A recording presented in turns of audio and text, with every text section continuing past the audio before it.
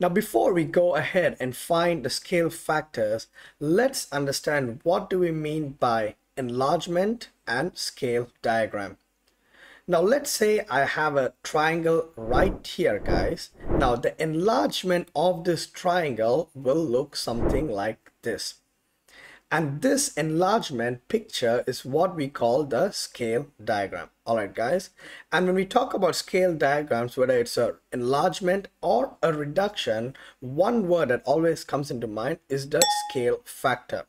Now you guys might be asking, what do we mean by scale factor? A scale factor is the relationship between the matching sides from the original picture to the enlargement or the scale diagram. All right, guys and of course it comes with a formula. So the scale factor is the length of the enlargement in this case over the length of the original picture. All right guys. Now let's take this formula and let's solve some questions. Now if you take a look at question number one right guys? So the scale diagram is bigger than the original picture. So if it's bigger than the original picture, we know that it is an enlargement, right guys? It is an enlargement.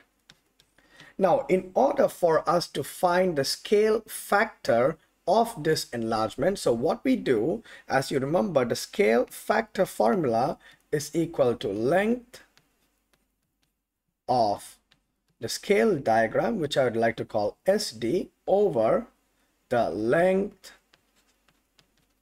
of the original diagram, right guys? Original diagram.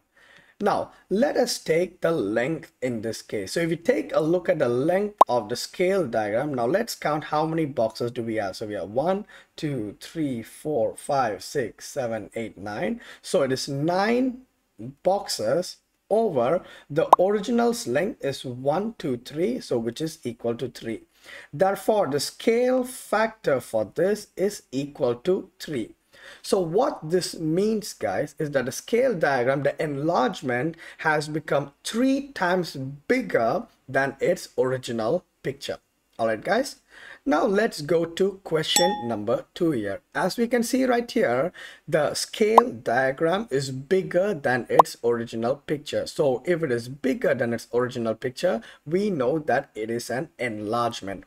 Now in order to find a scale factor, again what we do is the length of the scale diagram SD over the length of original. Correct guys? Now let us take the width in this case. So when i talk about length it can be any of its side but it should be the matching sides right guys?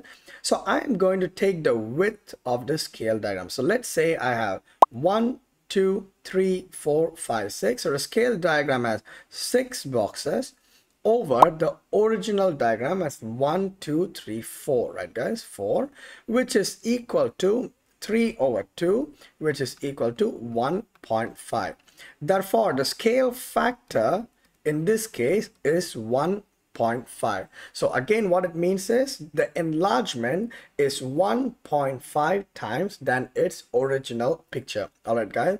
And that is how we find the scale factors from the original picture and a scale diagram. Now, if you did enjoy this video, do not forget to click on the like button and consider subscribing so you don't miss out on any future maths videos. Until next time, guys, have a nice day.